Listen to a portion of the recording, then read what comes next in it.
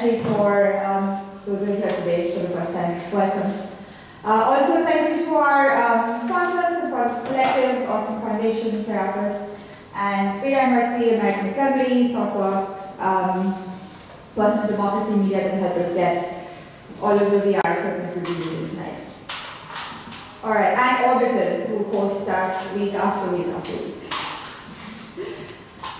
Let me do a quick um, exercise. Yeah, we're going to do a quick uh, morning exercise to wake up our brains today. Just a show of hands, how many people were not here yesterday?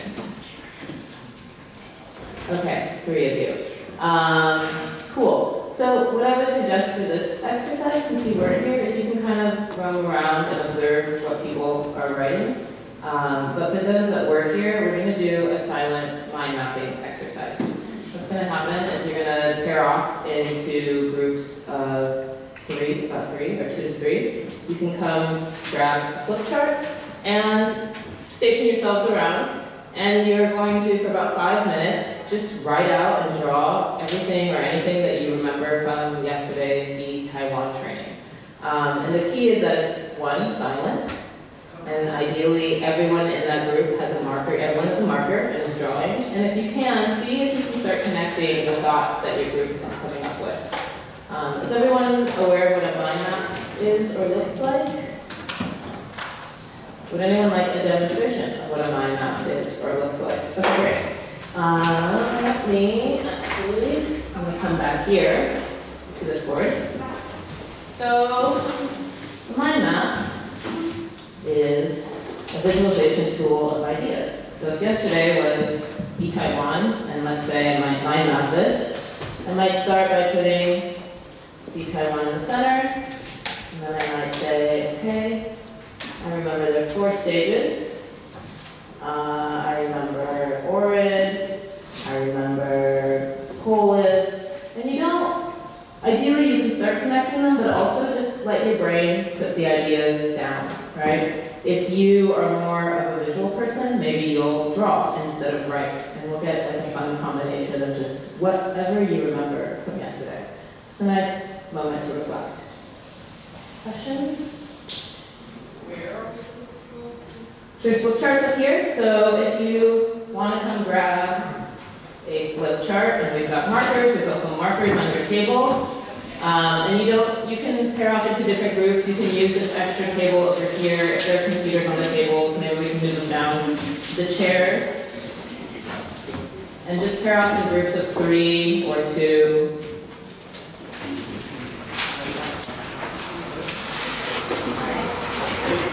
Very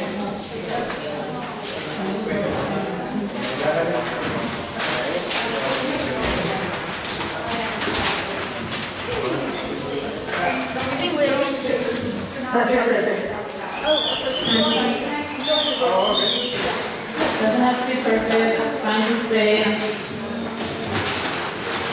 Um, if you want big markers, there's also Sharpies on your table. You guys paper, paper.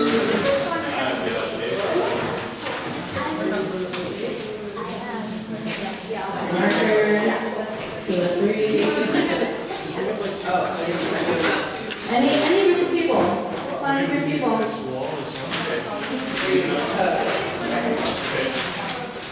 There's one up there, there's one.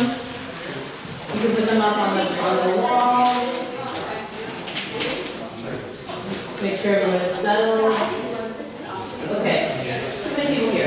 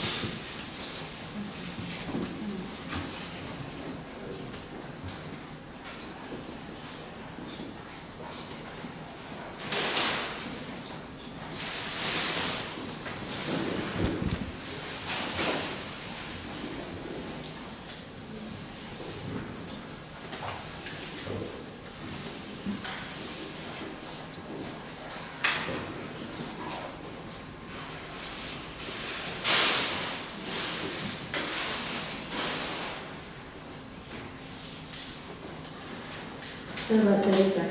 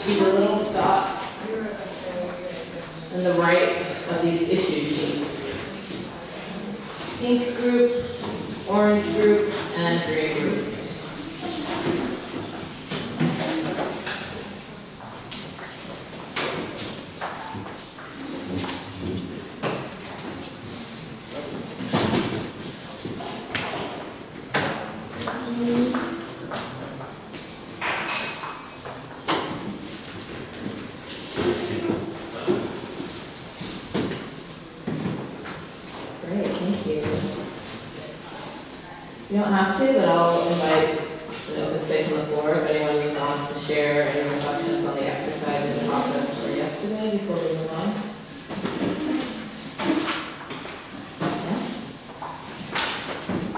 Uh, very thankful for the opportunity for y'all to be here, so thank you very much. Um, I'm very, uh, one thing that I haven't seen so far is kind of like a listing of the technical, well, of kind of like the, the technology requirements that you can use. If there's any way that that can be spelled out, um, you know, like number of iPads, uh, yeah, stuff like that. But I just want to say thank you. Anyone? Okay, thank you very much, Hi, before I hand it over to Tom, um, you haven't actually for those, those of you who are here for the first time today, we have uh, Jolly who's going to record this whole thing. So thank you to Jolly, thank you to Internet Society, and I hope that you don't have problems with being recorded.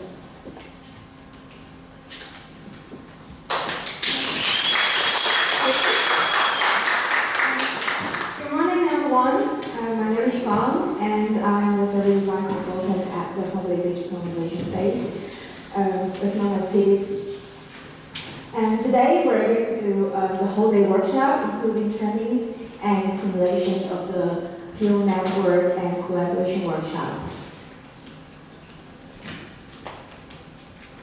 And before I go into the details of the PO network and um, the collaboration workshop, um, I would like to share with you some of the key culture before, but just before that, um, make sure that you got all the workshop materials.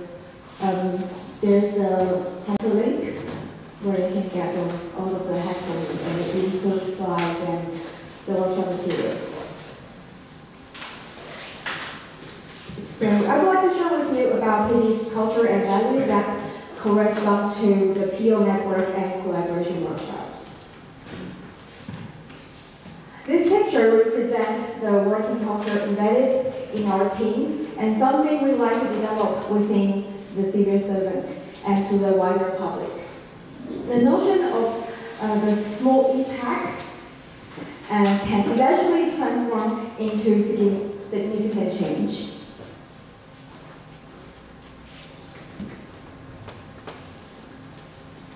And here you can see we did, um, sorry that's the, the presenter is, uh, the projector is not clear, but you will be able to see that um, on your laptop if you have one or on your phone. But I will zoom in so that you can see it better. Uh, there are four, uh, five values that uh, we came out in the workshop within the team last year. And the top priority of the value that we have is to build the trust between citizens and the government. And the second one is to cultivate the civil society organizations and citizens by raising um, awareness on public issues and enhancing their capability to participate in public affairs. In order to make this happen, it's important to ease civil servants' workflow. Also, it's important for us to promote the value of digital services. And then also encourage civil servants to be innovative and not afraid of failure. And all these respond to the four open government pillars that um, we embrace. So I will give you a brief introduction of uh, the history of PO Network. We hope to change the culture within the, uh, the government and to cut processes and bureaucracies. Groups from different ministries of civil service were trained to tackle issues and policies that were raised by the citizens and civil servants on the Taiwanese Edition website called Join, which Tiffany will talk about this later on in the afternoon. However, there was a clear need to have a fixed group of civil servants trained to better facilitate communication and collaboration within and across the 31 ministries. Since October 1st in 2016, when Audrey Tang became digital minister, she started PDIS and called the middle to senior civil servants who are familiar with planning, communication, digital tools to be part of the fixed group. We later called this group the Participation Officers Network.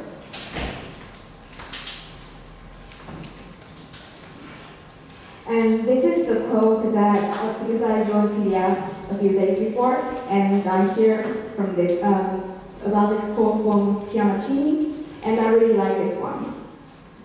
Um, you never get, you never change things by finding the existing reality. To change something, build a new model that makes the existing model obsolete. And this is, this responds to the multi-stakeholder governance system that we are building, which I will explain this more later on.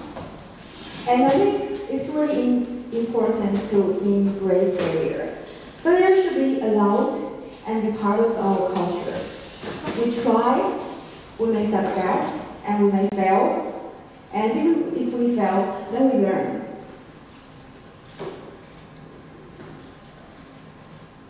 And I'm going to share with you um, two case, case studies that we did. And overall, I think we've done around 30, 35, 36 collaboration, workshops um, so far in the past two years. And the first case study that I'm going to share with you is the online income tax system redesign. The online income tax system takes the form of a website that allows taxpayers to pay, report their income, and get tax rebate.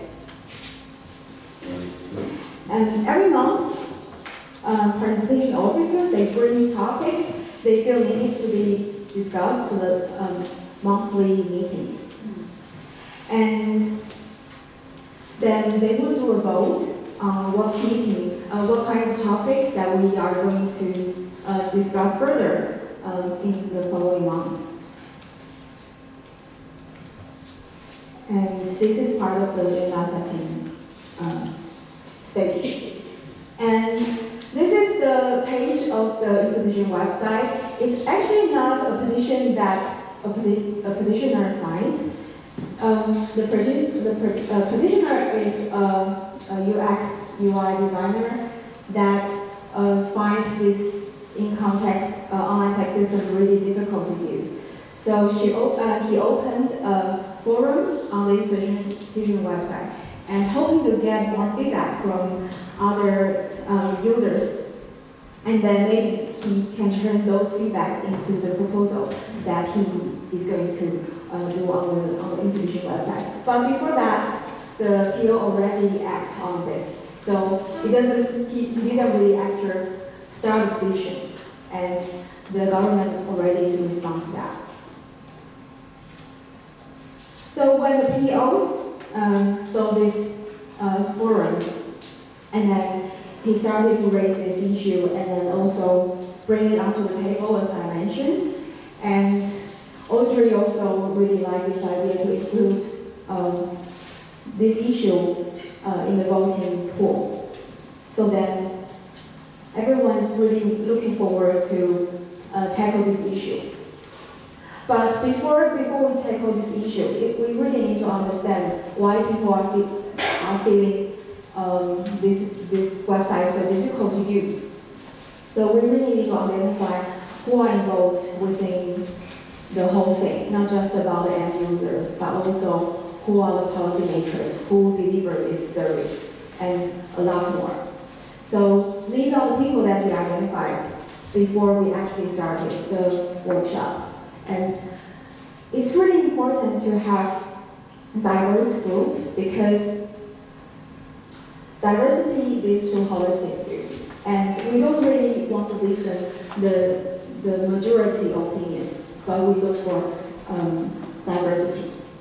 So there are end users, petitioners, designers, IT strategists, frontline staff, and also a lot uh, civil servants from different departments. And this is a closer look at the workshop that we do um, live streaming on 360 camera, also a, a general camera. And so, you, so people online who cannot participate in the workshop, uh, they can also have a say and understand the whole process. This is the fir- first workshop that we conducted, and the aim of this workshop is to really understand um, people's journey and what they find difficult in each stage. Because people might come into the workshop and start to complain a lot of different things.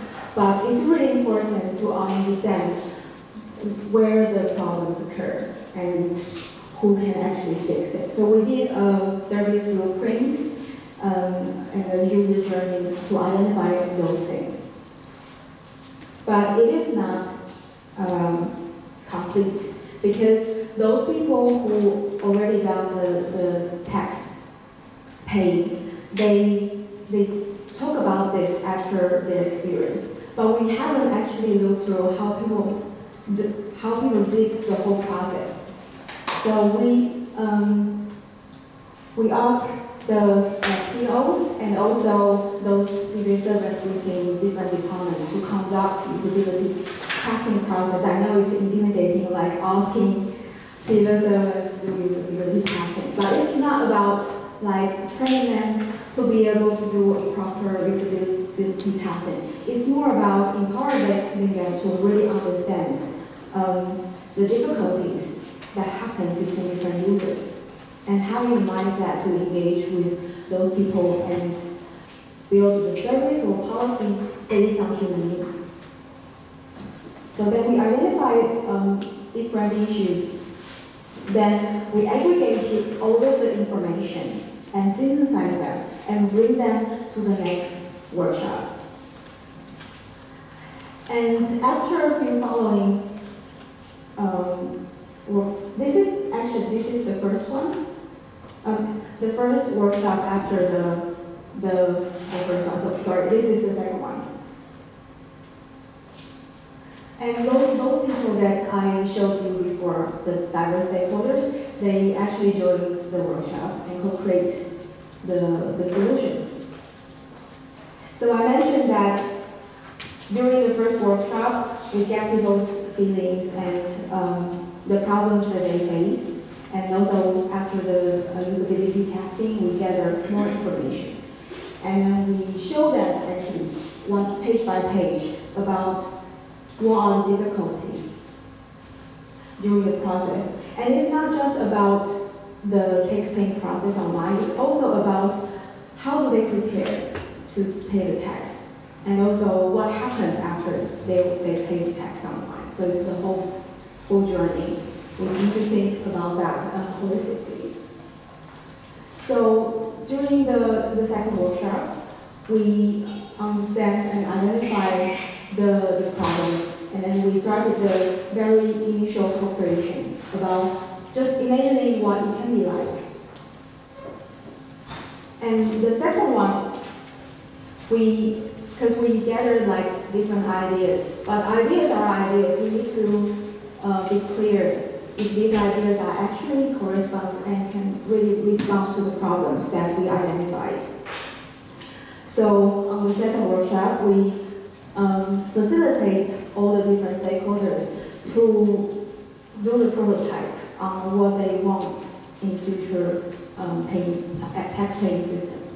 And th- something really interesting struck, uh, that struck me is the civil servants, they really understand how different things work. So for example, the people from taxation uh, department, they know um, the language they use and they, because they, they make the laws and everything. So, but that's also the, the other problem that the end user finds those languages that the government use is really difficult for them to understand. That's why the process, that's the only reason why the process is so difficult for them.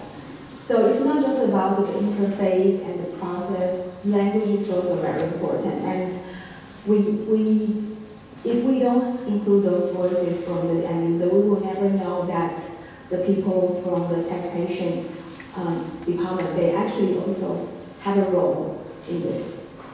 So it's really important for people to understand um, their role and to identify what they can do um, in, in the different workshops. And because we have the uh, third workshop that allow people to do the prototype, then we need to have this, uh, the fourth workshop that allows people to actually uh, envision what it looks like um, in the future. So people can test it and make sure it works before we launch um, the website. So we include, included more designers within the process for them to help um, the, the interface that people like and also the process. And after that, um, we hand this over to the outsource company. They're, they were actually in the, in the workshop, so they can um, tell participants about their difficulties during the workshop. So we don't have something that is ready for the outsource company to code, and then they realize that they cannot do anything about it. So outsource company is also in- being involved in the process. And then we have a new website um, in this bank this year. And we got lots of positive feedback from the users saying that it's, it's, it's easier for them and it's quicker for them to finish the tax payment process. So the main, the main change of this, this service is, I think cultural change comes to the first. Because the civil servants that we work with, they understand the user more and they know how they can provide the public service better during this process. So they include more this kind of thinking and what they learned during the workshops and then turn that into the RFP, the request for proposal for the next year. So they included more of this kind of thinking. And also the, the digital, the, the digital uh, online tax paying system, uh, the process is clear, it's step by step, and people will be able to see the real-time calculation. So by the time that they fill in their information, they know why they're paying this much tax during the process. Also, there is a guide before they do the, uh, they, they started paying tax online. Because there are four different portals for them to, to be able to get into the system. And sometimes they don't know what they have to prepare. Do they need to have a card reader? What card do they have to have? The health card or some other uh, information that they have to be that, that have to have ready at hand. So we also tell them that these are the things that you have to prepare before you start. And then so they don't have to go back to the start to find their cards or card reader. So um, I think the whole process broadened the horizon of civic participation and opportunities for collaboration across the government. And PO Network and multi-stakeholder collaboration workshop created alternatives for civic participation and opportunities for collaboration across the government. People have another option to have a say apart from voting, protesting on streets, creating active discussion on the internet, which is a very common social phenomenon in Taiwan. And the case study, the second case study that I'm going to share with you is the wildlife conservation in Penghu. And the PO of this topic is actually here, um, Patricia. Uh, Patricia? Yeah, so she will actually share with you some of her uh, experience, that her, my perspective. So the Penghu is, is an island just um, nearby the, uh, the southeast of Taiwan. And I can show you the, the area. So Taiwan is up over there and this is Penghu. And there are a few islands around that area. And there is a particular um, sea area that people were talking about. Um, should they, should they um, stop the fishermen's fishing behavior around that area? And it's a, it's a contradiction between so many different industries. Between fisher, uh, fisher industry, fisher industry, environmental protection groups, and the tourist industry.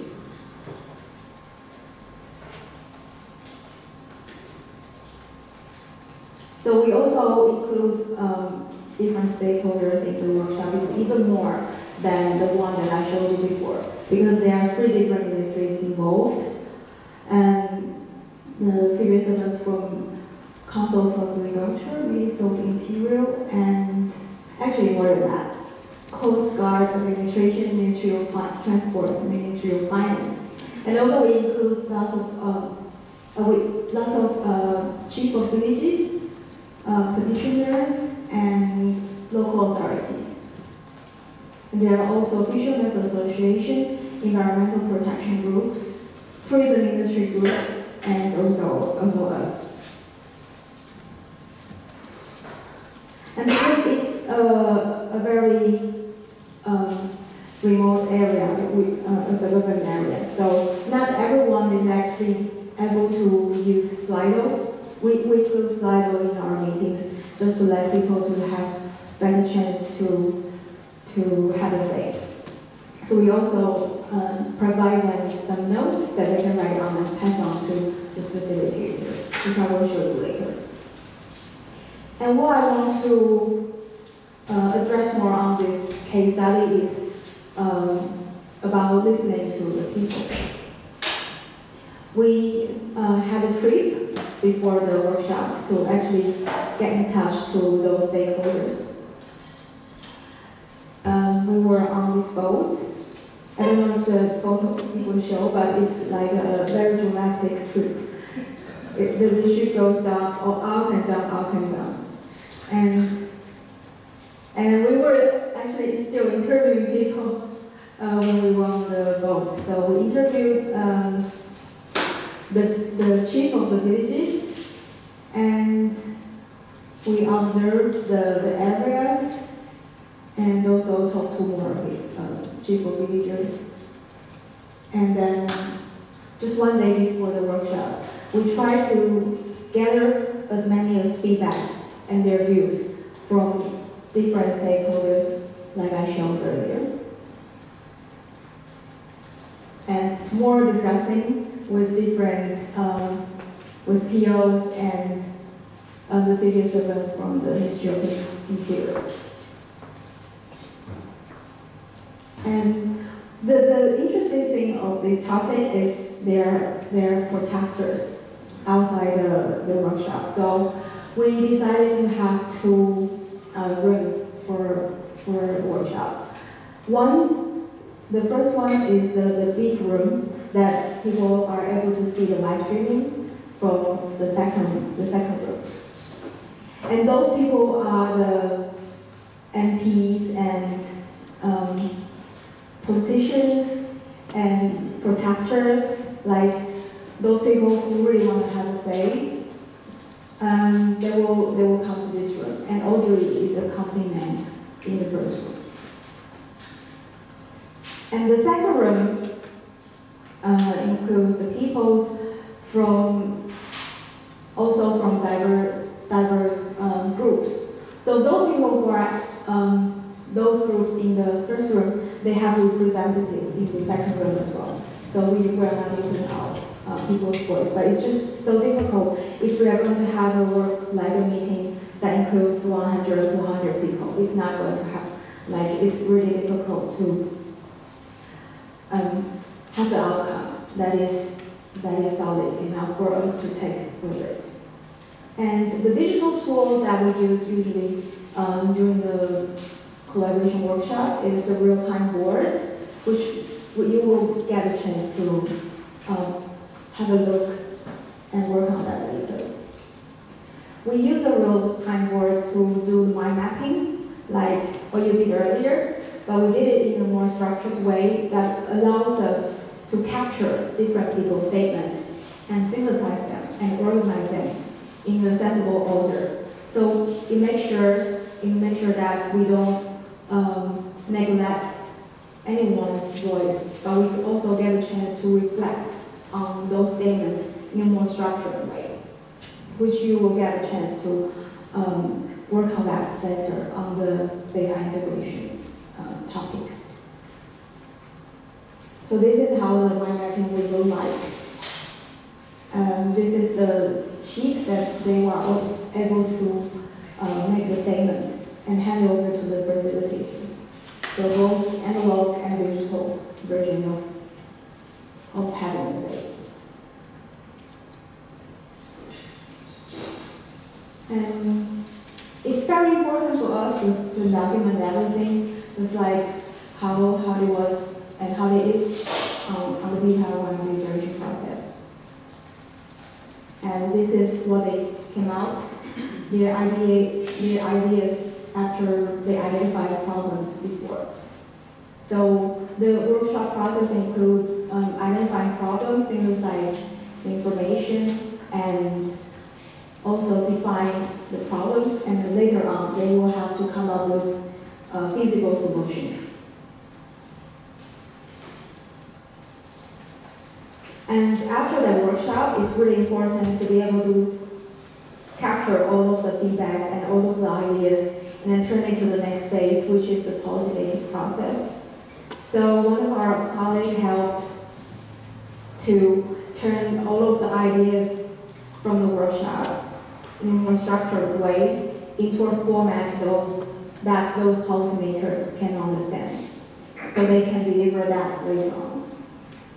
And also, we have a Hackfoldr that have all of the process and during, before, during, and after the workshop. So people can build their knowledge on that and also avoid talking about the same issue, having the same discussion again. They can actually build something upon that.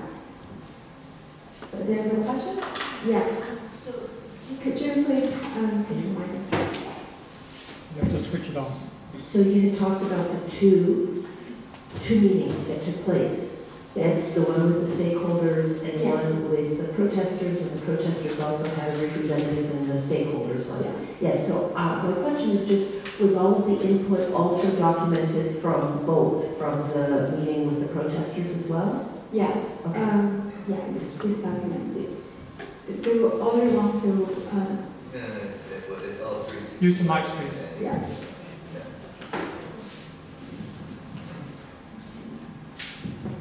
And then I will talk about, uh, more about the participation officers network. Oh, sorry, I think there's one slide missing from, uh, from Patricia. Do, do Patricia want to add any, anything onto that project? I'd like to share later. Okay, cool. So Patricia will share about this project on her view and her, her experience on working on this later on.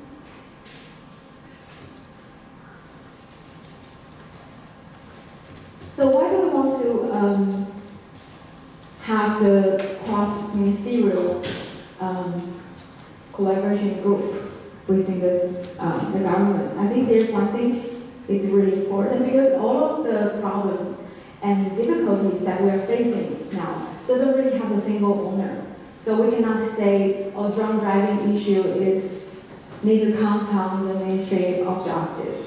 Also, Ministry of Welfare and Ministry of Transportation also very important because it's not just about making the law even more difficult. It's also like how can we prevent this and how can the police um, act on this better during their day-to-day work.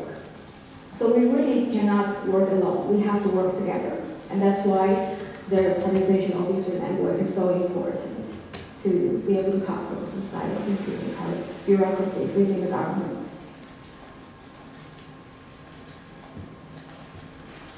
So, um, as I mentioned before, in the his- history of the PO network, uh, we recruit some passionate civil servants and authorize them fully. So we don't force them to do anything and that allows them to be responsible for themselves and, and actually do a better job. So we also encourage those um, POs to be brave and ask for help wherever they need. So these are the, um, there are 31 ministries um, in Taiwan, and all of the ministries, they have at least one representative um, from, from their ministry. And there are around 60 POs at this moment. And those POs from this uh, Officers Network, and they need to record, uh, paraphrase, and facilitate the collaboration workshops.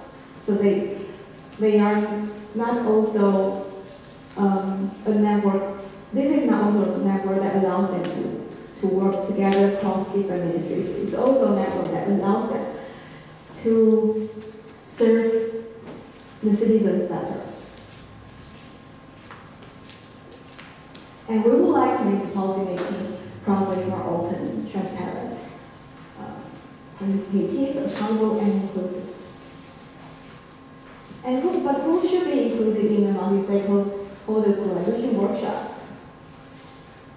As I mentioned before, um, during the case study, we usually identify um, different people like policymakers, service providers, end users, experts, um, different organizations that really care about this issue, and also maybe corporates that they actually have um, a role in this topic. And the more people participate in shaping the infrastructure, the, more they will like to engage. And I would like to share with you um, about the process. The old process is, the, this is the traditional process of policy making. So politicians uh, will work with civil servants to generate policy, and they work on the process, system, maintenance, regulation. And users usually are the people who get to know about this at the end. But it's really difficult for them to change that because um, some of the some of the laws are already being passed in Parliament, and they cannot really do anything about it. And if, if we have a protest, we can just postpone it. Like also yesterday, we shared about the sunflower movement and the deal between Taiwan, the trade deal between Taiwan and the and China. And that's actually something the same. It also being just um, people just ignore it. It's not going to be passed, but we cannot do anything about it. And we don't really come up with a solution that address the problem that we're having. Like why do we want to have the trade deal? What's the the initial intention to have that? We actually don't have an action to respond to the original intention. So we want to avoid that because it costs a lot to go through the process and nothing really happens afterwards. So we would like to include different people's uh, voices and views. And those users are not just end users, they are diverse stakeholders, like I mentioned before. And we aggregate their, their point of views and the problems that they're facing, their needs, and then generate surveys based on their needs and the problems that they're facing. And then develop the system and do the policy check and then work on the regulation and maintain, and maintain that the whole the whole system. So when it goes to feedback, people will generally happy about it because all of their concerns are already being aggregated in the So in summary, um, we would like to make rental impact, just like the Little Water Drip. It's, it's incremental, it's slow but incremental. And also doing more, doing is more effective than talking, so you will actually get a chance to work on the whole process later on. Multi-stakeholder government system is a system that we're building, and it creates opportunities for uh, civic participation. And so we don't, it's, it's alternative responding to the traditional uh, democracy, such as voting. And we would like to embrace evidence, so you will get a chance to work a lot on the statements and how you reflect on those statements and how you organize it and turn it into something meaningful, insightful, and you can have a solution based on those insights. It's really important. So we would like to and embrace evidence a lot. And the last one is change the culture through empowerment and cooperation. So the whole process is not just the process that we want to solve the problem, but it's also a process that helps us to build up the capabilities. And we can always learn from each other.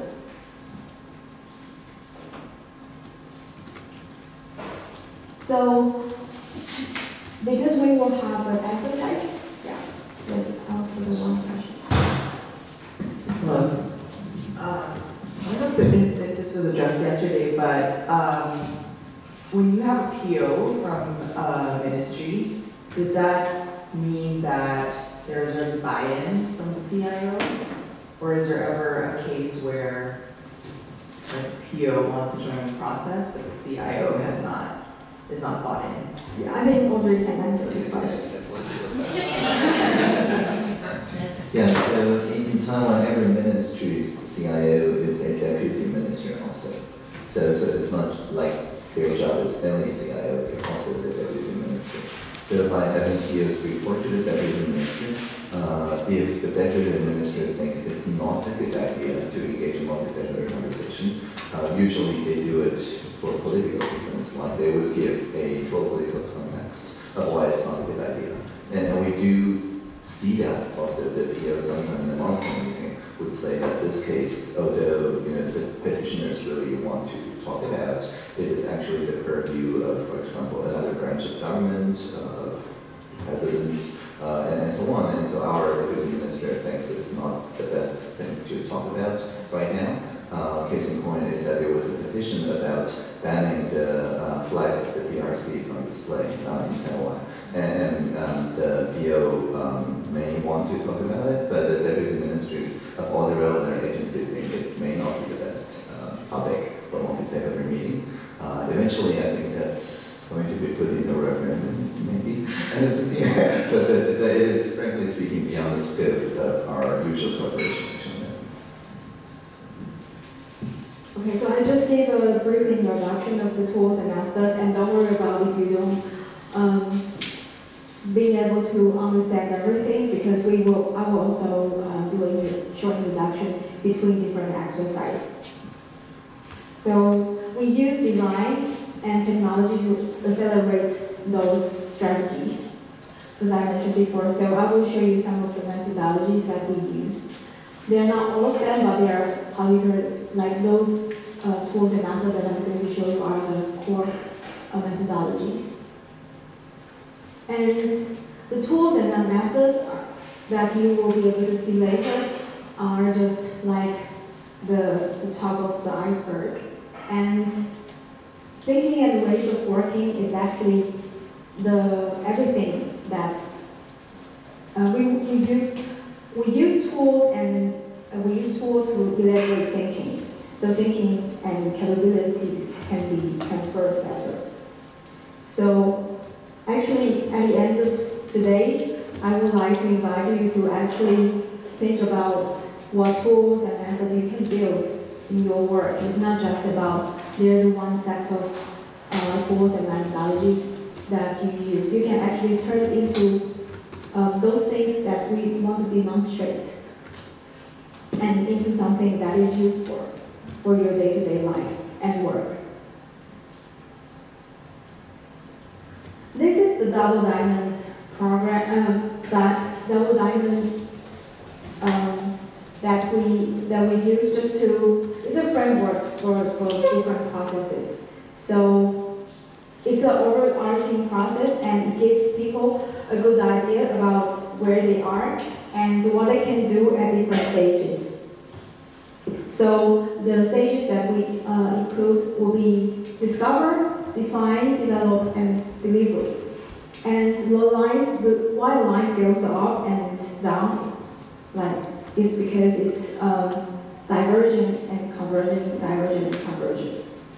So when you do, uh, when you're at the discovery stage, you will be able to get as many information as you want, and then you take the time to synthesize the information and define the problems.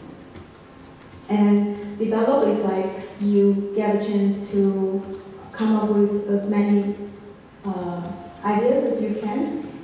And during the delivery stage, you have to synthesize and see what's working and what's not working. And then you deliver a solution. And it's, it's actually not a, a perfect framework. Like in a real, in a real life, we won't have only two diamonds. We will have something like, like this. So you will have to do a little bit of um, uh, discovery and maybe synthesize the information a little bit and then do more discovery and maybe have some ideation. But you feel like the idea is not not really responding to the problem. So you really need to identify, interview more people and do more research. So the process is iterative and you can create your own process based on the, the framework. And this, uh, this slide gives you, this diagram gives you more information about what can be included, what can be included at different stages. So like, um, this one, like mapping who's involved, is like a stake, stakeholder mapping that we can do, that we, we are also actually doing um, in the, first exercise. And then we're not including this method over here uh, in today's workshop, but it's good for you to know that um, it's also very important to do interview and shadow people in a good way, like to understand their behavior and their difficulties. And then also, during this process, we get a chance to identify problems, and this part will be included in the exercise two. And the exercise three will be about um, developing ideas, and then after developing ideas, we need to get a chance to reflect on those ideas and how does these ideas respond to the problems that we identified earlier. And we're like including these three later on, but it's also good to know that uh, we need to get feedback from different stakeholders. Also, we need to refine business model, like how does this going work? And we also need to know how we measure the impact before we deliver it. So, uh, we, we can use that uh, outcome to prove the service or policy later on. So during the discover and define stage, we will use the first tool issue making instruction. And this is a tool that allows you to put different um, statements um, and even not statements, like different research piece into this format. So you get a chance to reflect on different different issues and stakeholders and what you are going to do later on. So let's take a closer look. Um, before, before we actually work on a topic, it's really important to understand what, are the, what the problems are and also what are the existing solutions are. So we match how, like, for example, there's one problem statement, and maybe somebody talk about the solutions here, so we have to map it in this way. And when we have more and more problem descriptions, we have to start categorizing them. So it doesn't, like, we can handle those information better. But it's really important to have uncertainties here, because sometimes when we are doing deliberation or when we are doing literature reviews, there are always statements that is not, not clear for us. And during the deliberation, we sometimes have the statements that some, somebody agree that is a problem, somebody say, "Mm, no, it's not a problem, it's a phenomenon. So there are uncertainties that we have to discuss more. And the reason why we separate those informations in this way is because it allows us to be able to reflect on different statements properly.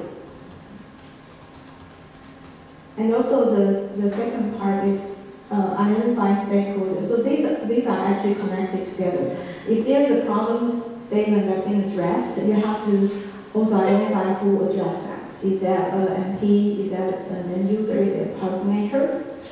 And when you have more and more statements during the deliberation or the, uh, the, research stage, you can identify more and more uh, stakeholders. So these two are actually um, you have to um, work on these two together so you can see if there's anyone that um, is missing during the, the process. And the last one is about um, actions. So what are the current um, plans? What are the future plans? Is there any resources that we can use? So we are not actually going to fill this form today, but we have a, an exercise that can take you through this process. And this is the, the form that we provide civil servants during the research stage, be, before they do the workshop. So this allows them to really have a whole picture about what this issue is. So they are not going to the workshop and start listening to people in a non-structured way. We actually need to be prepared so we can act better on that, and we are not wasting people's time.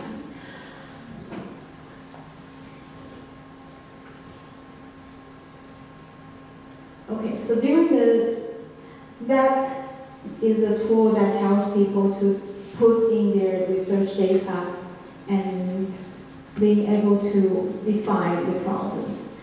But during the discovery uh, stage, there are more tools that allows people to, to identify problems and, and needs.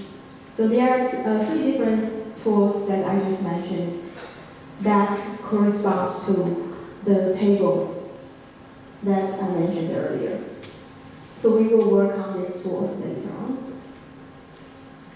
And there's an instruction of how those uh, tools that we can use. Then in the define stage, we have a tool called uh, challenge statements. And this is a very um, important part during the process because when we collect all of the information, different statements, problem statements or solution statements, we need to be able to define them. A, challenge statement is the statement that allows us to aggregate what we've learned during the discovery stage. And that is, the statement should be open enough for us to be able to um, brainstorming as many ideas as we can. So the statement I will uh, mention about this later on. This is just have a look, just let you have a look how the tools look like. And during the development stage, um, we have also another tool called idea development stage, uh, idea development sheet on, on, on, on back of the room that you will get a chance to uh, put in the problems that you identified earlier and also putting the challenge statements that you have. So it gives you an, a chance to think about possible solutions and resources you may have. And this is something really important over here. These columns, um, you can put in the information about um, risk and barriers, uh, risk and barriers. Sorry. Because ideas is not, all of the ideas is not perfect, and you need to be able to identify what can be the risk um, if you if you deliver that idea. So it, gives us the room that we don't deliver something that can cause more problem. And when you when you can get a chance to find solutions that can respond to the risk, then maybe that idea is deliverable.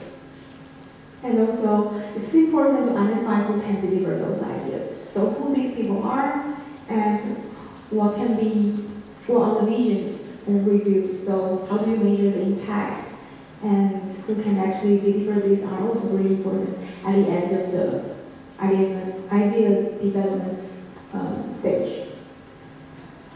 So it's a really long talk today. I hope it's not too intimidating to you. Do you have any questions? Yes. Cool. I'll take.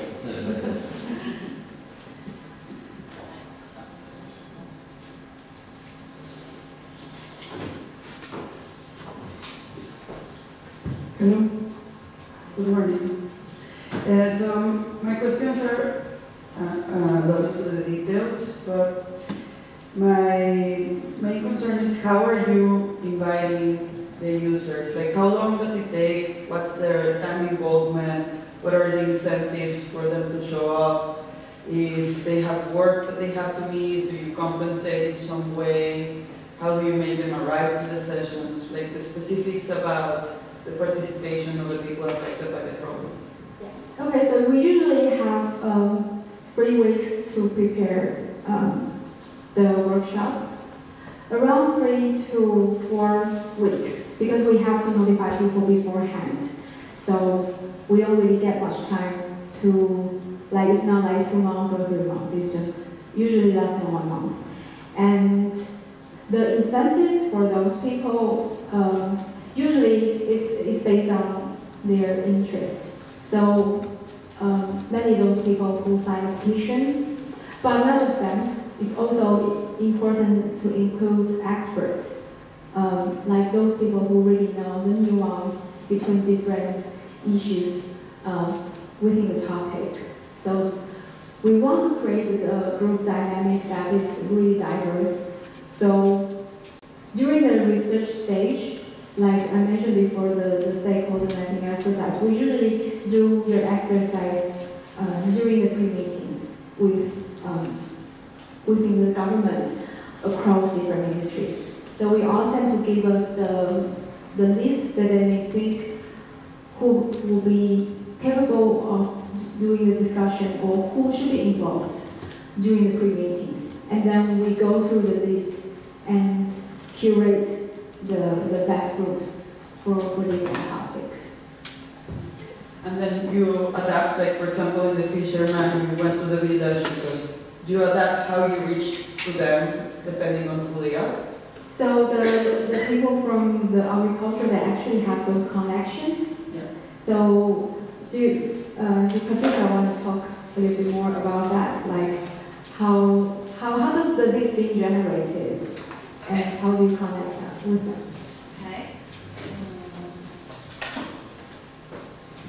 I'm Patricia.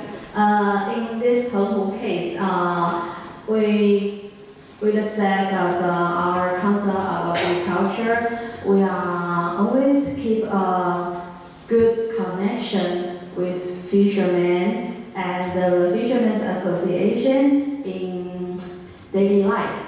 So when this, uh, when this uh, issue comes out and um, and we inform them and invite them to uh, attend uh, the meeting. And uh, they shows highly concerned and uh, with a highly will to attend this meeting. So let's uh, to contact the people is not a question to us.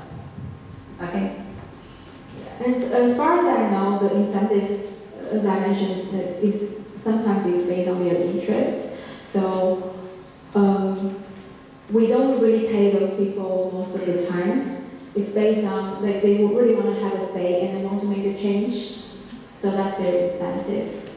But I'm not sure, like, because some of the ministries they actually pay those participants with their own budget. Ah, ah, I got something to add. Yeah. I just mentioned, uh, I just think uh, about that. Because it's a little bit of a paradox in this case because uh, um, when this proposal was es- established, um, some people to encourage the fishermen's uh, community to treat the uh, man who made this proposal as a, a kind of enemy, I think. So they maybe have some negative emotion on this issue, and uh, the people they think if we uh, if we don't show up, and uh, maybe it will harm our interests. So let's uh, merge the people to come out. Okay, yes.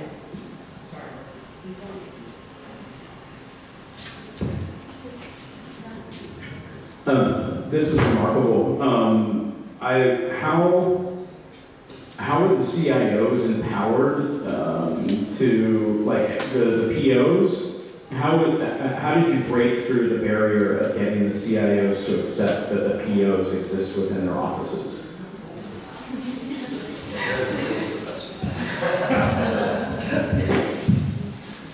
Um, very careful. so, um, so it- it's true that this is somewhat um, experimental, right? This is basically a way so that the CIOs actually do to work outside their comfort zone. Uh, but on the other hand, um, it also gives CIOs much more legitimacy if they figure out who is the actual agency in charge of this policy issue. Because if you compare the uh, status before we had a PO network, we still have the e-petition platform, but it is a common observation that if the petition pertains only to one agency, it usually gives a good um, solution or at least a dialogue of the, of the problem. But if it is a cross-agency, not necessarily cross-ministerial, if it is a cross-agency problem, all the petitioner gets is an explanation rather than a real dialogue or a solution. And this is a well-observed fact of the Join platform um, before the PO network is formed. So it's identified as a weakness of the platform uh, by One Media, and also it makes the CIOs look actually bad if all they can do is to explain the problem instead of solving them. So it's also a way for them to, to politically leverage other ministries who should actually support um, the, the same kind of um, uh, political agenda that they're pushing, but uh, wasn't possible because of the silos. So that's the political motivation uh, for the CIOs for the network to exist. For the POs themselves, of course, uh, it reduces risk. That's the, the easiest uh, explanation of why POs throw their time into doing this. But also for the agency people, it also reduces the cost of them explaining the same thing over and again without getting a clear direction of where to improve the status quo. And all in all, this is a design to solve the coordination problem by getting people to commit on possible solutions before actually implementing it. Uh, but it, it's not always uh, easy because, but as the network is stable, as in it's the same 60 people, right? It grows a little bit, it's the same 60 people over the course of one year. So just apply standard game theory prisoner's dilemma uh, thing because these people are stuck like with each other, so it doesn't make sense to, to just try to shift the problem away or things like that. And it makes a lot of sense to, to share food and, and solidarity. So that's the or origin of the design. And with this design explained very carefully to deputy ministers, they eventually uh, see see the light uh, uh, purely on political um, um, calculus.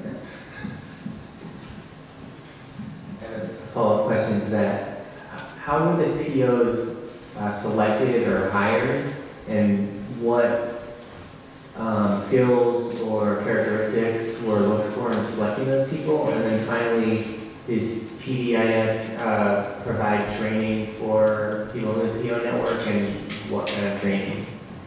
Right. So um, there's a national regulation, the direction for implementing the roles of participation officers in the executive unit and so subordinate agencies uh, that uh, is a great read. I encourage you all to read it. Eventually, it's on, it's on Google Docs um, that, that I just pasted in. But in short summary, yes, we do provide training, but most training is through problem-based learning. That is a collaboration meeting and pre-meetings itself. And the POs um, that doesn't get petitions or uh, other collaborations like the, I don't know, National Palace Museum, um, which is part of the cabinet, um, and, and things like that, and the Hakka um, Council and whatever, uh, they become supporting crew uh, to the uh, collaboration meetings run by other ministries that are more busy. Um, so that's the training part. Um, as for the picking POs part, uh, we famously posted on um, the, the national uh, bulletin board set by the civil society, the PTT, uh, which is the equivalent of Reddit, uh, right? So we, we actually posted on the equivalent of slash r slash public servant, uh, and, and say, you know, who want to be a POs, just speak up, but you first has to be a public servant. Uh, and so we, we did get some POs way, uh, but the requirement is that they are career public servants, and they're usually senior ones. Um, and um, the, C the CIOs may not know them personally, but uh, authorize them uh, to basically lead an internal uh, cross-agency team, exactly the way Pete is, is uh, facilitating, I wouldn't say leading, um, the, the PO network. So it's a fractal-like uh, structure. And the Council of Agriculture has the distinction of passing its own regulation on, on participation offices of subordinate agencies same, exactly the same structure. It's replicated on the level in sports bubble uh, agencies uh, with the same time structure and training structure. So, so this is like a fractal way of, doing more holistic um, selection, and it's all vetted by the CIO, of course, but the POs also has to um, volunteer for it, like they has to agree with it. And we try to have POs led by curriculum students that are senior, uh, and they're not, they're not applicable from these, because otherwise they just get located out. At the central, uh, the, the chief information officers, who are also deputy ministers. So uh, each ministry may have one or two or three deputy ministers, and one of them are bound to be the CIO. And is, does the CIO have the purview of the technology budget and kind of digital doing? Within the ministry, yes. Ha- Sorry about this. Has uh, information that's surfaced through these PO events resulted in changes in legislation, like changes in policy at the legislative level? It, uh, it's easier, far easier to change in the regulation and policy level because that's something that administration can decide itself. Fortunately, most of the positions are hiring at this level. Uh, but if it does require a law change, um, then we, we need to work with the legislature somehow. So just like uh, the vTaiwan um, set up, uh, introduced uh, yesterday, sometimes we invite, actually they invite themselves, the aides of the MPs and even MP themselves watch over live stream and so on in anticipation of the administration proposing a bill draft. And that's a Taiwan's constitution basically allows, actually calls for the administration to propose its own draft bill for the parliament to deliberate. And so we see ourselves as doing homework, research work for the MPs if it does come to a law change. But we have no control over how MPs uh, interpret our suggestions, but we can prepare up to the point where we send a draft bill. But um, to be perfectly honest, uh, these um, e-petitions, they are very popular as MPs' um, topics or inquiries or draft bills also. So sometimes even before we get to the point of collaboration meeting, some MP would just harvest uh, this as their agenda. Uh, and that complicates political matters a lot. but fortunately, the majority of uh, those e-petition collaboration workshops are about policy and budget and regulation level things. Does- Can I? Or we can, we Does- can hand it. Uh-huh. One, one. I got, I got two more. Does, do legislators then actively participate in the process? Yes, but not the full process. Um, and that's, that's, that's all I have to say. Um, what, what level of awareness would you say the civil service community in general has of the program? Like, would you say ten percent of civil servants who kind of are in this milieu are, are aware, or is it eighty percent? Like, what, Well, of the 23 million people in Taiwan, around 5 million uh, has used the platform. So, I'm sorry, of the civil servants? yeah, even of the civil service, I'm sure that because there's quite a few very high profile uh, petitions concerning the welfare of public service. So I don't have hard numbers, but I think over half uh, of the public service are at least aware of, of this platform and, and the related uh, PO network. Uh, and, uh, but I don't have the, the numbers, maybe any details. Yeah. Um, Thank you for sharing all of this. This- The, um, the PO network is such an unusual and progressive approach to governance. It's like both inspiring and really depressing, I think, as an American. Um, My question is, uh, comes from ignorance of, of sort of Taiwanese social dynamics. Um, who, what are the marginalized or historically disenfranchised groups and how do you reach them?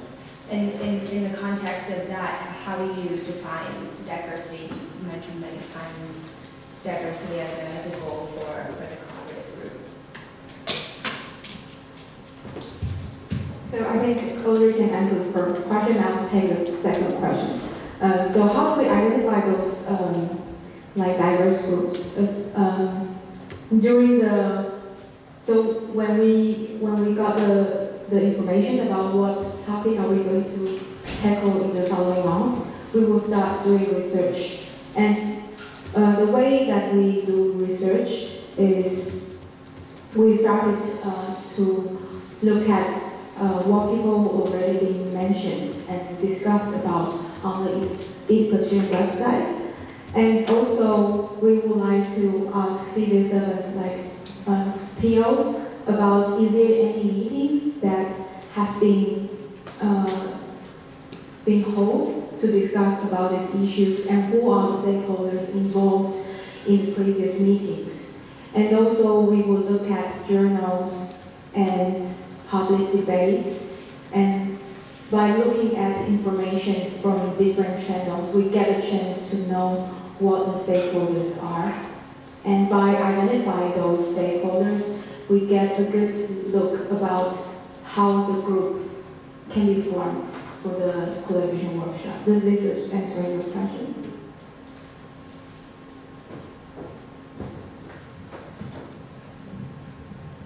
Um, yes. And are there, is there a major group that is historically disenfranchised in Taiwan? I apologize for such a. Okay, I think only mentioned. Um, well, yes, um, I think the, the Fisher, the Fisher people, they're, they're actually traditionally, um, very wary of any so-called participatory processes. Um, they're, they're far more used to like this top-down, um, like power over people, uh, kind of organization. And mostly because they're in a difficult position really, the, the near sea fishing itself is, um, in danger of disappearing, uh, far as I know, uh, especially around the Penghu area. Um, in the coming decades, um, there's problem of overfishing, there's a problem of uh, lots of things, and um, because Taiwan has such a um, atmosphere of sustainable ecological uh, development and ecological groups are far uh, more active in uh, social media and whatever other um, organizations. So, so they see themselves as somewhat disenfranchised uh, in, in many local issues as well as national issues. And in fact, it was framed uh, because this Penghu case is our first uh, marine national park that's open to the public. Um, it seems as very symbolic, like um, the, the, in the interest, in the name of marine um, biodiversity, we're taking the livelihoods of fish people away. That was the initial framing of the decision. And so, um, but gradually they, they discovered at first um, this is not about uh, counting the people who show up. This is not about making a decision uh, right on the spot, and uh, that this is not about, um, for example, uh, their traditional way would be ar- arguing for particular MPs or councils people to uh, negate the, the whole process and stall the process. They have a lot of experience doing that. Uh, but after they uh, discovered that first technologically we make it impossible for protesting to uh, solve the actual uh, discussion of the second room, and the second room uh, turns out to be pretty balanced uh, to, to their interest, and that uh, there are common values like sustainable fishing and things like that that everybody nevertheless uh, agreed on. So as the collaboration meeting progresses, they become uh, actually much more active and constructive um, after the, the, the collaboration meeting. And sometimes they go back and watch the whole live stream and actually discover that there are points that are actually in their favor. So um, there's no fundamental paradox that uh, or, or conflict of interest at the two or different sides. There's a message we uh, managed to get across, and they become much more constructive um, afterwards uh, and uh, we uh, put a lot of their constructive inputs. Um, so while not a fairy tale, like, I wouldn't say that all fishers people locally have been turned. Very importantly, the, the leader of the, the local uh, fishing uh, association actually came to a very reasonable uh, spot where we can do constructive um, things on. Like um, it makes a lot of sense to first um, provide alternative routes for their careers and uh, take care of the local livelihood and empower local NGOs and co-ops to co-own uh, the development program instead of having a top-down national service park, uh, national park driven program and so on. So um, those details are just um, meant to, to show that um, the layered approach actually um, gets to the solutions that works for everyone, that everyone can live with. And starting from that point, um, they become, become much more eager to participate in local civil organization um, after they, they see that the government is not just bowing to 5,000 people and uh, you know, having their happy-handed way on, on their living as the government actually was come to do, especially local government uh, in the past decades. So that's how we gradually work franchises has an issue. Uh, and I think the, the nationally visible press conference uh, that Patricia held uh, is also very important in showing that this is actually, even if it's a election year, we're taking a very balanced approach in, instead of succumbing to like over radical uh, interests that calls for a solution by now reckless. So, um, I I suppose this is the time to keep asking questions about the, the e-petition platform that you use. So those of us who uh, lived through Obama's little experiment with We the People and saw how cynically uh, the White House treated those petitions, and also how the press didn't take them seriously, and the advocacy community barely took it seriously. I think there's a marginal conversation going on in the notes about trying to understand why Taiwan's experiment has thrived and what we didn't do here, or what the conditions were that has allowed it to thrive in the way that the White House's approach was a failure. And so, can you say more about just like how it was uh, put into place? Who, you know, I mean, you could take these things and ignore them, right? Um, the threshold was very low. In the, in the, in the White House's case, they started with a low threshold for what meaningful petition had to be requiring a response, and then they steadily increased it.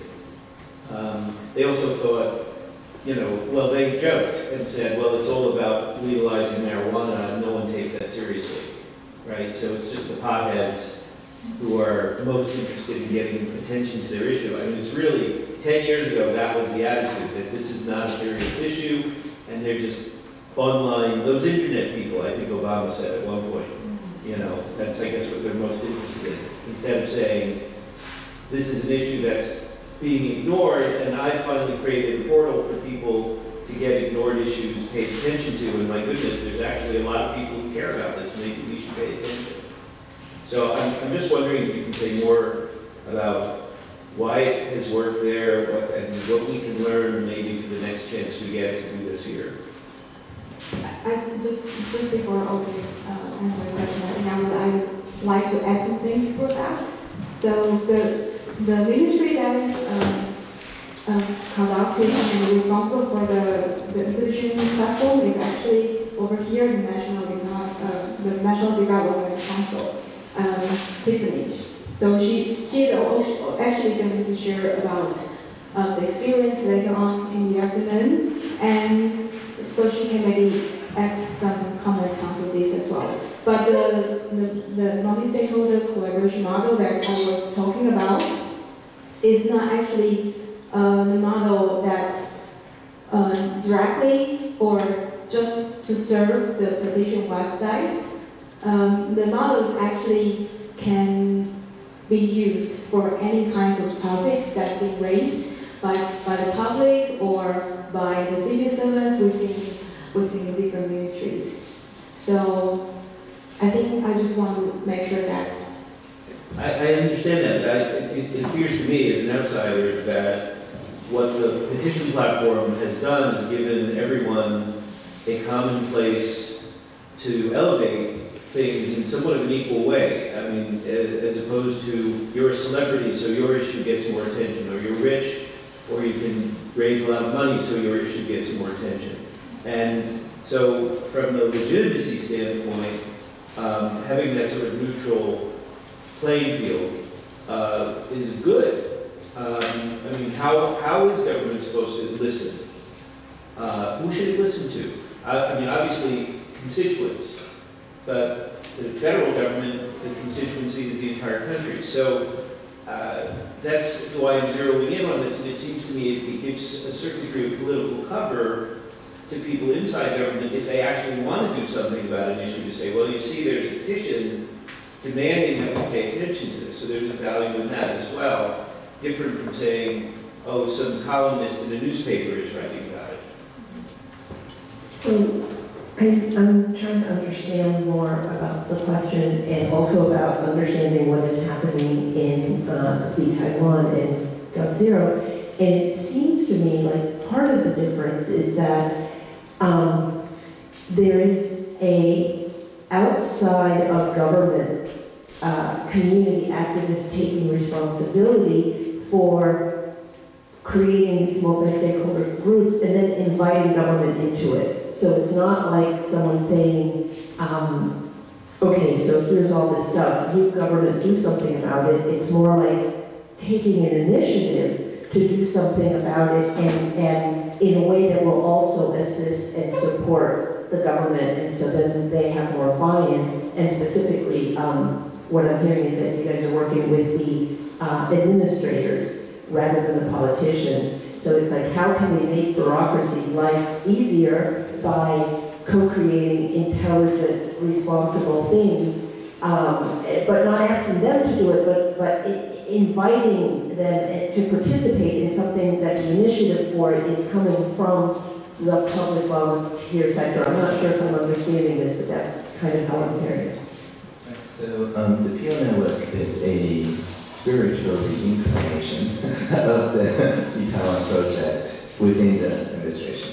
So, so it is not structured entirely like vTaiwan because the so-called they are also career public servants and they often have other jobs. Uh, it's rare that we have a PO that are so fully authorized that she can um, essentially lead the whole PO network within one um, ministry or one council. Uh, it is true that many POs they still double as, for example, um, media officers, or uh, they double as parliamentary officers, as two most common ones, but also planning officers, and so on. So they're somewhat restricted in, in their role, not like a full-fledged vTaiwan contributors who can, you know, play any role whatsoever. So there's some some institutional uh, parts uh, that PO play. Uh, it's not a pure volunteer network. That means that uh, we try to recreate volunteer network dynamic. So the, the peer selection, the process selection, and so on, all, all of that was lifted uh, from one. So that is to answer your question. And so, short question about um, the, the e-petition and why we bootstrap the network using the e-petition. So the e-petition platform came because of the um, National Forum on Economic Development uh, in 2014, and that was one of the main demands of the uh, people who show up at the National Forum. The National Forum was held because of the Occupy. Uh, Sunflower Movement called for a national constitutional forum.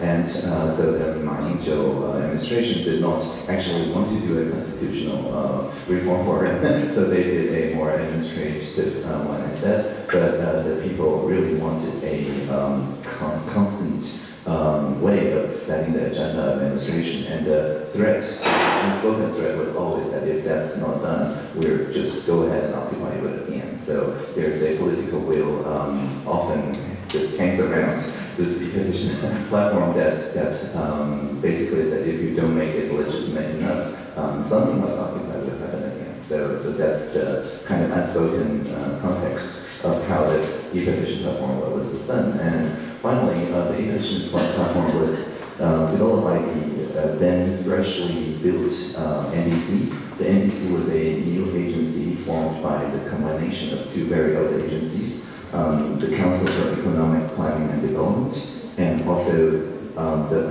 the, um, uh, the Council for uh, Research Development and Evaluation. And so these two were respectively um, responsible for long-term plans and for evaluation, uh, like auditing the other ministries to make sure they follow those plans. And now once those two uh, agencies merge together, they become very powerful because they're uh, able to essentially set the agenda and make sure that other ministries are held accountable for the agenda. And so the political uh, power of the NDC as the chief agency to, to work on the Join platform and also the national open data platform uh, far exceeded what would uh, be possible if had it uh, be done with one of the planning or the um, you know supervising uh, agencies. So this like super uh, ministry uh, is, I think, one of the key ingredients why it becomes so effective because they can hold the ministries to account if they don't respond uh,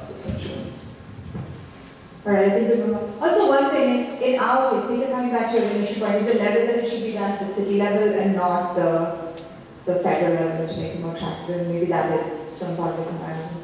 Um, alright, so we'll, we'll move on to the exercise part of it. The, the group that you're, you're part of for the exercise is indicated by the, the color of the, the dot you have. And if you don't have a dot, Joanna, you don't, both of you, um, I will, I will come give you, give you the color. And there are three tables. The, the color corresponds to the color up on the board behind you. And then Fang, Patricia, Tiffany, and Shuyang will, will lead you in the exercises and then we keep coming back together periodically.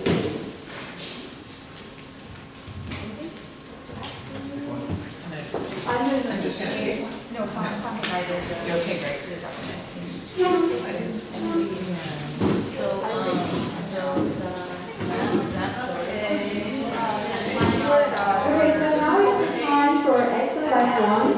We are running a little bit behind, so I will do this as, um, a little bit quicker. But maybe, is it? Like this now.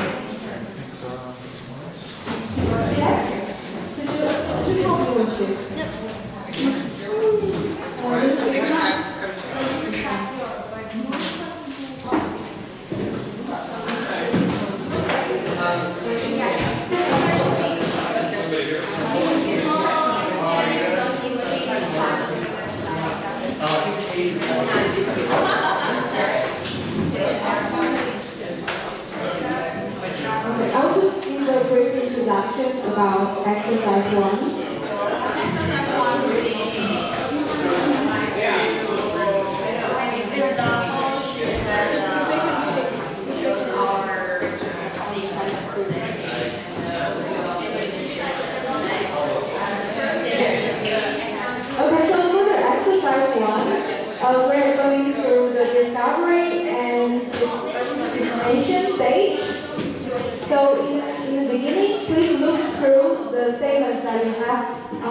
Table. You, can anyone see the statements? Could the facilitators uh, bring forward the statements for each group? For data integration.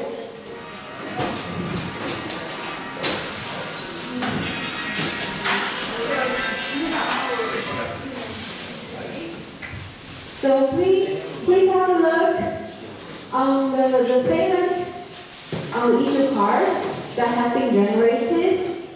And it has different categories. So if it's a problem statement, if it's, if it, if it, if it is a problem statement, then tick the box of problem. So categories.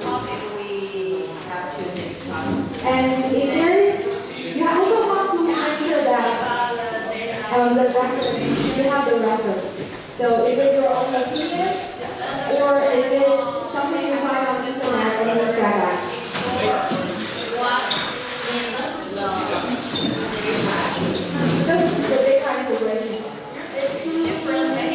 in every, everyone. So have a look and then, and start writing the statements that you have or you found on the internet on the blank issue card. Okay, so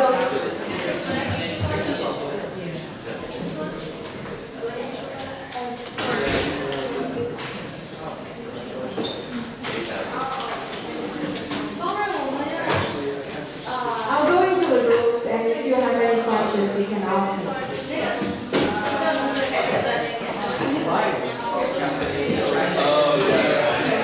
So I'll just quickly explain what the statement is.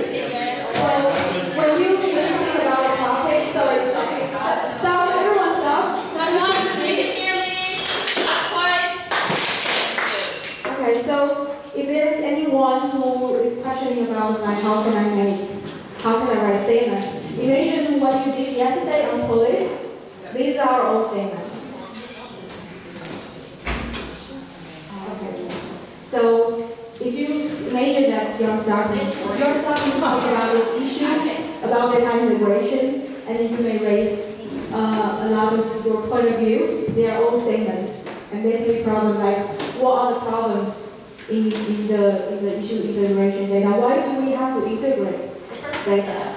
What, what are the problems? And you can start making those statements. And if, if you, sometimes when people have problem uh, statements, then they will talk about the, the solutions. So if you, if there is any solution that raised up to your, up to your mind, then you can write it down.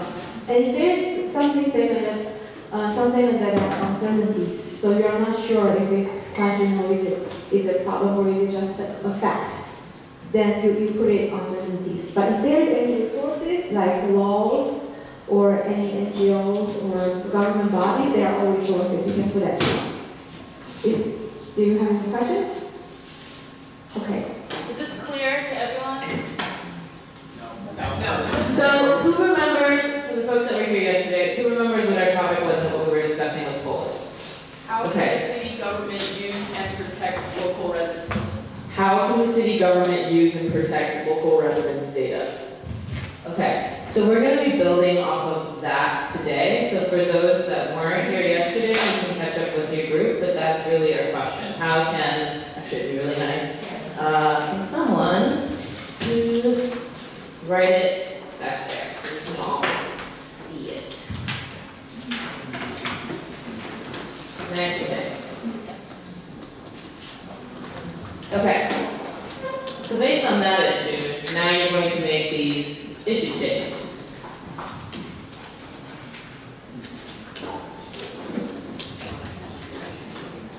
But, but that's actually a challenge statement, because you already have, um, like a focus area. But just, just forget about yesterday's topic. We focus on data integration, and is there any data privacy?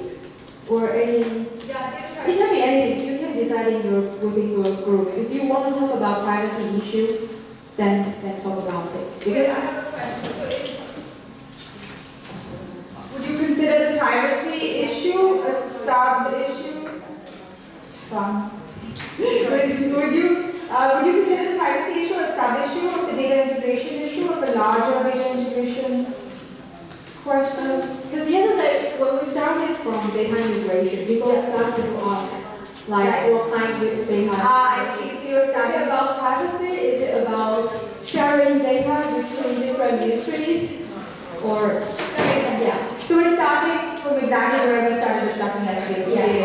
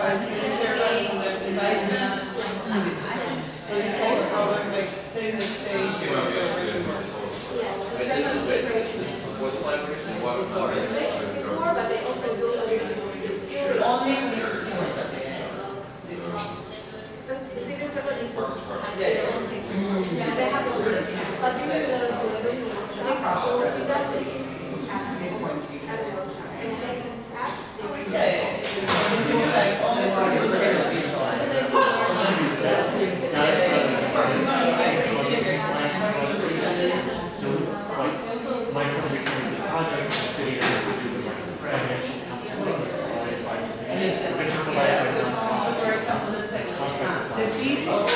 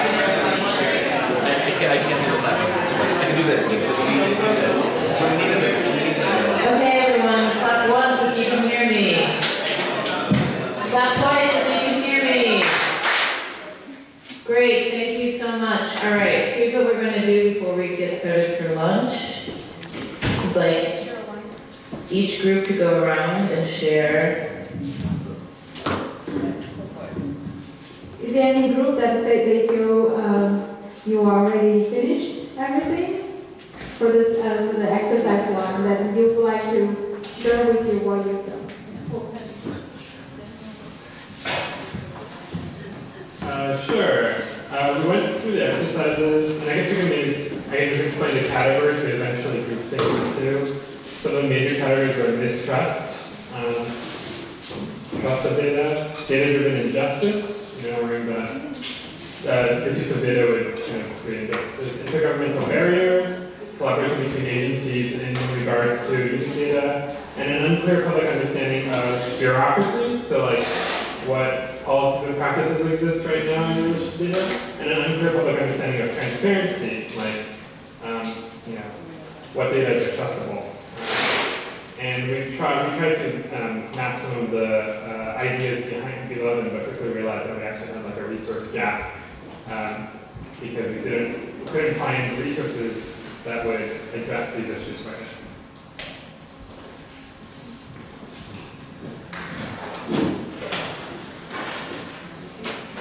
So, is there,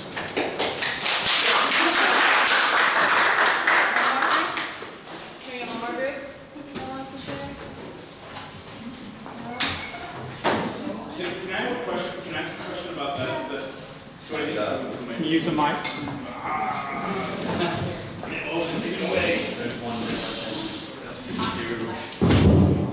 Well, in that particular, Okay, let me turn that one down. In that particular context, how do you go about documenting the resources that, like, if there's other people in the room, like, do you then ask people to kind of circulate around the room and put resources that they may know of from the different groups? Uh, yeah, this is actually a full set of uh, education tool for public servants to learn um, the facilitation skills. So it's not a tool we actually use during the workshop. Um, instead, it's a tool for training them to be uh, more prepared um, to be a nice facilitator, helping um, uh, gener- generating ideas with the citizens later on in the real workshop. Um, so here um, we prepared, this is like the phase we prepared for the workshop. After we've done this whole full set of uh, toolkits, we're going to uh, create a, uh document of how we analyze this, issue. So we here actually means the public servants and PDIS, uh, mainly POs and PDIS team will be the ones who create uh, the preparation of the workshop. Um, so after all this uh, process done with the canvas, um, we'll come up with, uh, uh, we'll digitalize all uh, these issue cards into post-its on uh, electronic uh, whiteboards uh, on the website. So Momo, can you come here and show me, show, us- show everyone what you're doing on your computer? Yeah. Right. So uh, what, what we've done so far for the past 30 minutes will be digitalized into a, a, um, a web, uh, electronic version. If you log into Zoom, We're gonna try to put it up. yes, yes. Yeah, so far, yeah, they're gonna put it up. And, and this, this uh, real-time board, we call it real-time board, it's a tool for real-time boards um, for supervising the hostess. Uh, this, this canvas will be intensively discussed during the collaborative workshop with, uh, with uh, people who create workshop, including VDs and POs and other public servants, and also the citizens who invited, researchers, experts to the real collaboration workshop. Is that clear?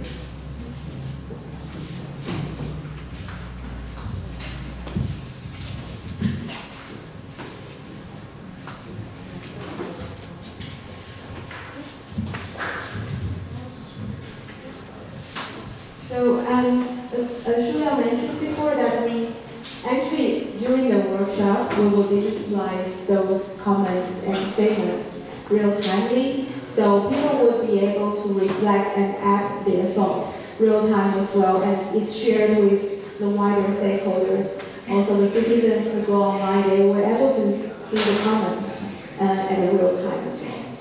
So the document um, can be accumulated um, over time. So if there's, there's another workshop, then they can use this as the base to start a new conversation. Yes.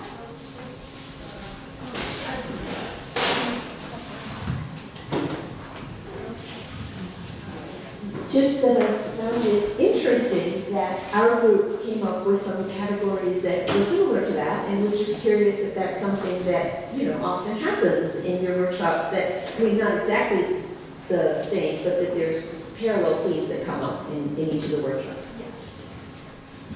So actually, as Shreya mentioned before, this is the preparation stage. So we do this training before the preparation stage to show how civil servants they are able to um, aggregate the different information. So during the preparation stage, they should um, like delete those duplicated uh, comments and aggregate them all together. So at the end, all of your groups, um, we don't have this time to do this today, but um, at the end of the session, during the preparation stage, they need to be able to come up with a complete landscape of what the problems are and what the ideas there. And then you they will use this information to be the input of the collaboration workshop. So they will show that this is what we research, um, we've done for the research, and if you have any comments, you can add on to that.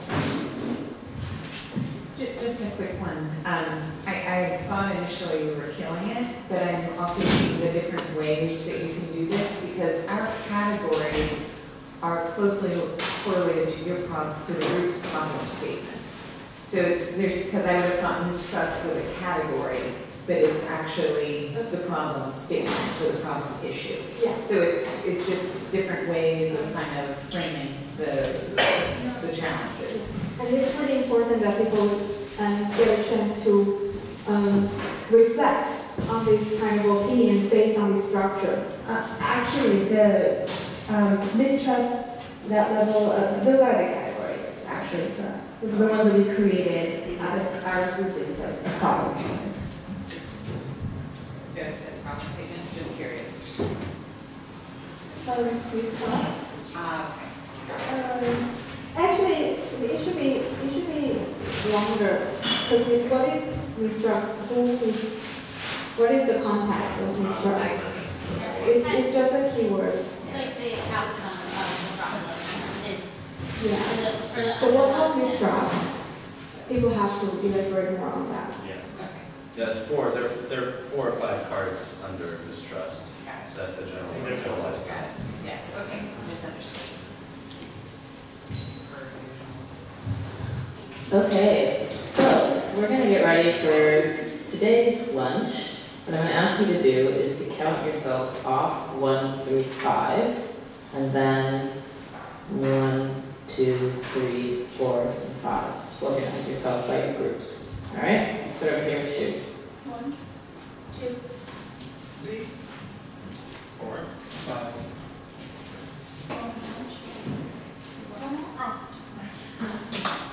You're one. One, one, two, I'm already, I'm three, no, Five, one, two. three, Four. five. Hope I can remember the numbers. No, no, no, you're one. I'm one. No, you're not a one. you're not? No, you're, you're helping. You're a one. Three. Four. Five. Noel, you are three. Forty-two. Three? Three and four. All right, group ones, twos, threes, fours, and fives.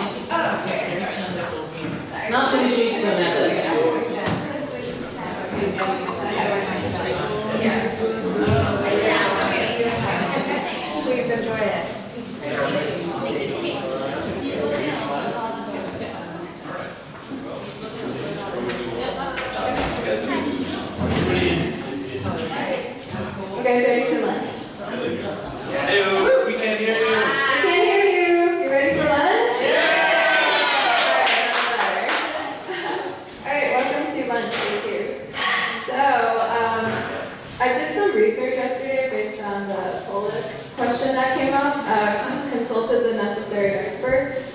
So, there's the recipe for the snack balls. Thank you. I'm glad that those are so well loved. Um, yeah, so again, lunch is an opportunity for you to process, socialize, and play.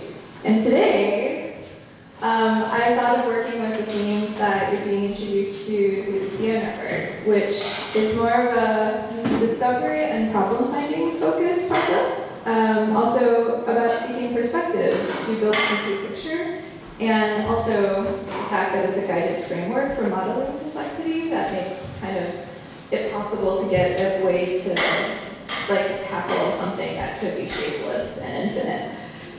Um, but I'm not going to share the inspiration for today's lunch because that would give it away. It is actually your job to discover what it is. And to do so, you will have to go around the room and ask experts who will have the missing pieces of information for you to locate what you need. So can the experts raise their hands? And Darshana. And Darshana, who's currently uh, getting plates down very bravely from a high place. All right, thank you, Darshana. Um, yeah, so you know who to ask to find what you need, and now Darshana will be, or sorry, CS will be handing out clue cards, which you will fill out to locate ingredients, which will come together and form a complete picture of what your lunch will be. Alright, so the ingredients are in the room, and let's begin.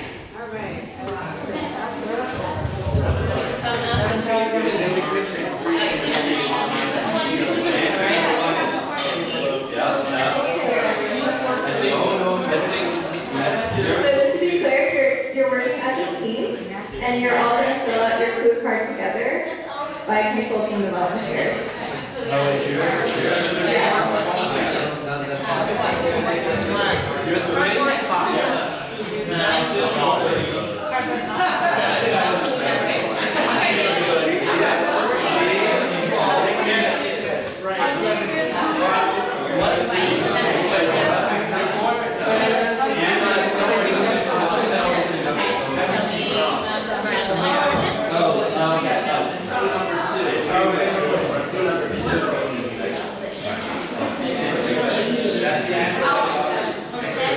So number two is next. Oh, yeah. Go up next. Two. Next, like, Steve Jobs.